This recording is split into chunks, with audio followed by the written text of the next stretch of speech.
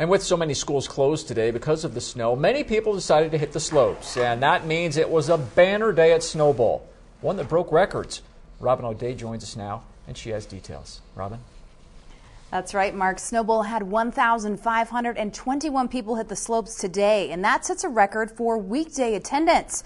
But many people drove up as single occupants, and it caused one big headache. Half the town just skips work and comes skiing, you know, because it's fun. That's what we do.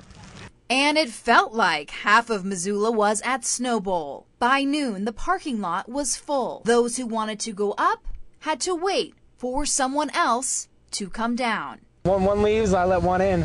It's kind of busy up there. I've never run anything like this before.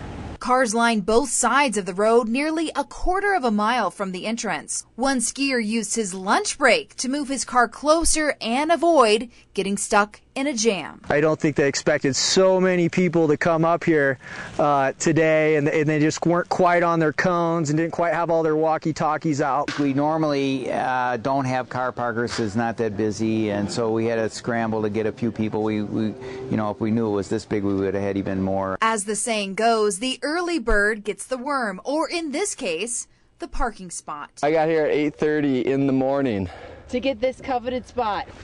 This is the spot. I got hooked up by a, a parking attendant giving me one of those. Despite the long lift lines and the tight squeezes, the thrill of the hill